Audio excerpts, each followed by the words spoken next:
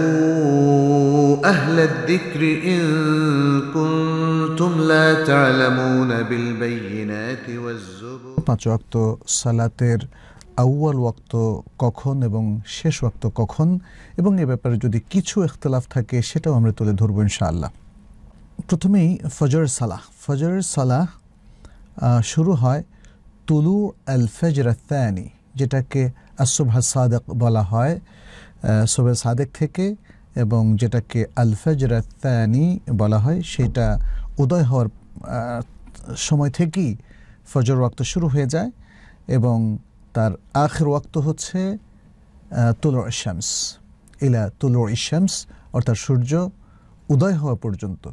সূর্য উদয় হলে সূর্যের যে গোলাকার আকৃতি আছে, তার কিছু মাত্র প্রকাশ পেলেই ফজর রক্ত শেষ হয়ে যায়। তৃতীয় হচ্ছে সালাতুদ্দহর সালাতুদ্দহর এটার ওয়াক্ত শুরু হয় যখন সূর্য মধ্য আকাশ থেকে পশ্চিম দিকে একটু হেলে পড়ে। এটাকে বলা হয় জাওয়াল।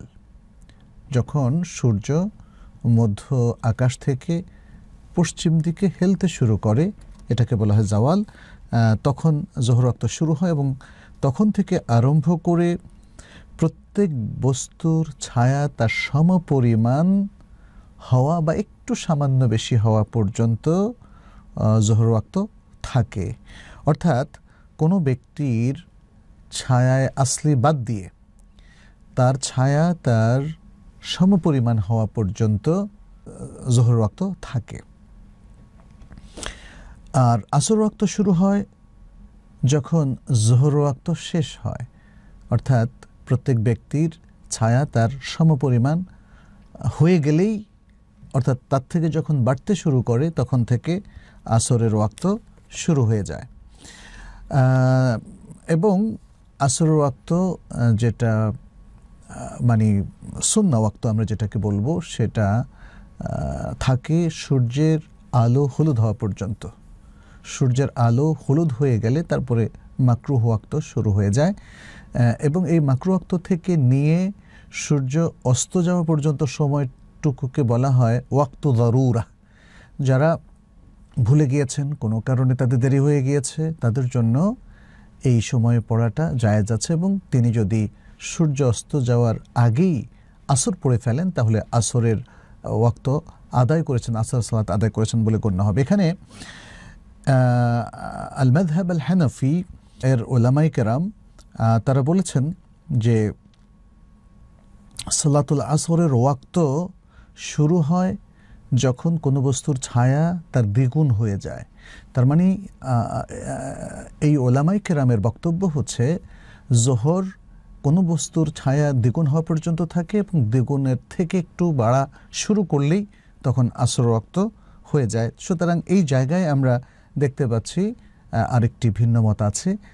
তবে আমরা জানি যে হানাফি মাজহাবের দুজন প্রখ্যাত আলেম যেমন এবং ইমাম ইমাম আবু ইউসুফ রাহেমাহুল্লাহ, ইমাম মোহাম্মদ ইবনুল হাসান শাইবানী রাহেমাহুল্লাহ।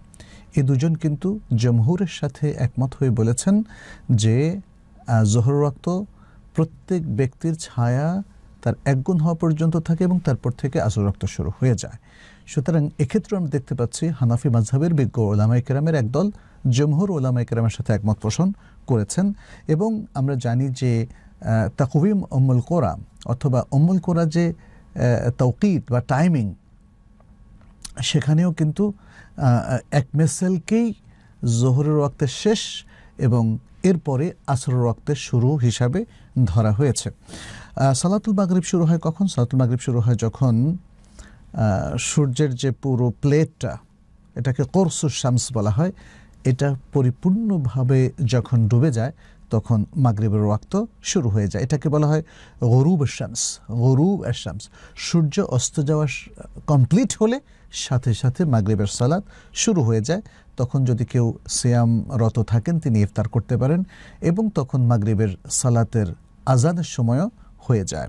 এবং সালাতুল মাগরিবের এই সময়টা এটা প্রলম্বিত থাকে আশাফকুল আহমার শেষ হওয়া পর্যন্ত। আশাফাকুল আহমার হচ্ছে পশ্চিম আকাশের লালিমা সেটা যতক্ষণ পর্যন্ত থাকবে সেটা প্রায় পঞ্চাশ থেকে এক ঘণ্টা কিংবা তারও কিছু সময় বেশি কোনো কোনো সিজনে থাকে, সব সিজন একরকম হয় না। সুতরাং আমরা এখানে ধরব যে প্রত্যেক সিজনে পশ্চিম আকাশের লালিমা যদি পরিপূর্ণভাবে অস্তমিত হয়ে যায়, তাহলে মাগরিবের রক্ত শেষ হয়ে এশা রক্ত শুরু হয়ে যায়। এখানে ওলামাই কেরামের কারও কারও মতে সাফাকুল আহমারের পরে পূর্বাকাশে আরও সাদা কিছু আলোকমালা থাকে, সেটাও অস্ত যাওয়া পর্যন্ত এশার সালা থাকে। তাহলে আমরা যদি ধরে নেই, এবং এটাই রাজেহ আমাদের মতে ওলামাই কেরামের মতে, যে পশ্চিম আকাশের লালিমা, এটা অস্তমিত হয়ে গেলে মাগরীবের রক্ত শেষ হয়ে যায় এবং এশা রক্ত শুরু হয়। তাহলে এশা রক্ত শুরু হচ্ছে লালিমা অস্ত যাওয়ার সাথে সাথে এবং এশার